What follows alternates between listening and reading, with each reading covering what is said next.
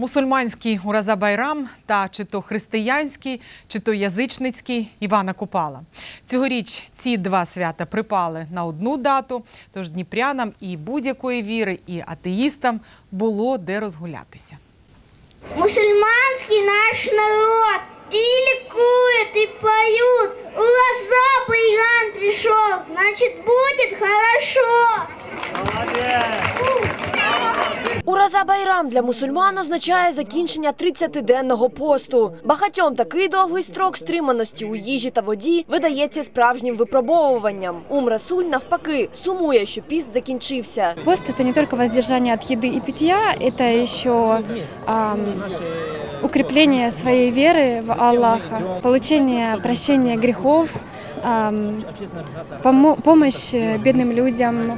А, И мы, когда мы голодаем э, в дневное время суток, мы чувствуем, как э, голодают а, бедные люди. Під час Ураза Байрам відбувається розговіння. Мусульмани пригощають перехожих солодкими фініками та кавою, співають і танцюють. Одним словом, влаштовують справжнє свято. Самое главное – это радоваться и распространять свою радость среди своих родственников, среди своих детей, среди своих соседей, а также всех людей.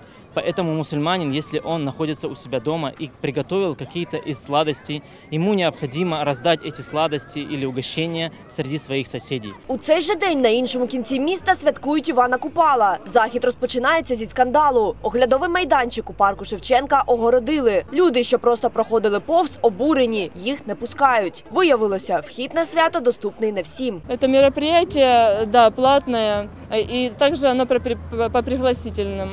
Э, Вход детям свободный, а, и э, вход атошникам тоже свободный.